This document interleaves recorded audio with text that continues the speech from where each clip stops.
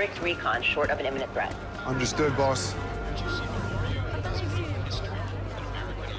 I feel like I stick out like a sore thumb. You may be a tad overdressed for crowd recon.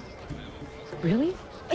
Well, it's a terrific pantsuit. You're definitely the most stylish undercover agent here. You were standing right there when I got dressed today. Mm-hmm. And you were so excited to match your belt to your boots. All four pings are converging on the Missouri.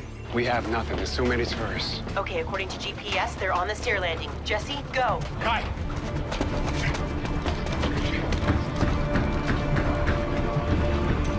Federal agents, nobody moves.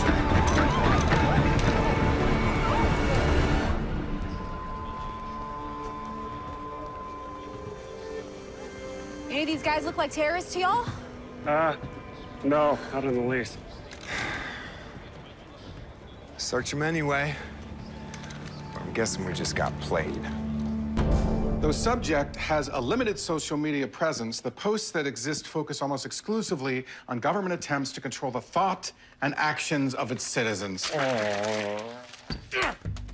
That pablum could describe any member of any anti-government group anywhere.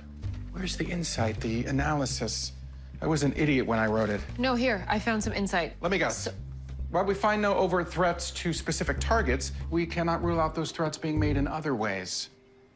Did you memorize Maxwell's dossier? Only the parts I hated. Okay, uh, that's a lot of not helpful self-loathing. Technology's better now, so let's figure out how we can use it to learn more about him. Great idea.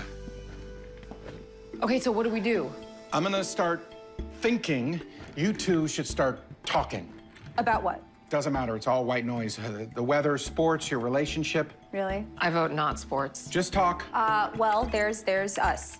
Obviously, we moved pretty fast through the will they or won't they? Yes, then no, then no, then yes. Good. But uh, since giving our relationship a try, we managed to put all that behind us. Huh?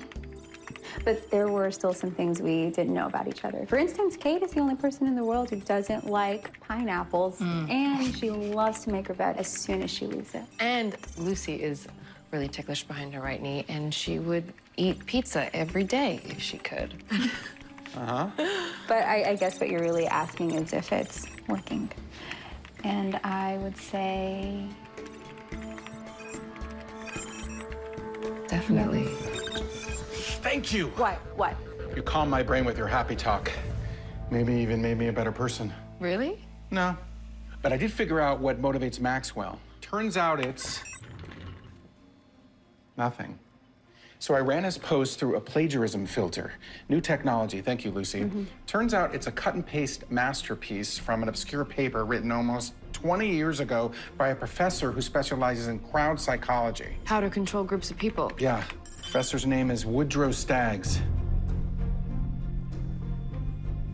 WS. Like the inscription in the Poe book from Maxwell's cell. Where is he? According to travel records, here on the island.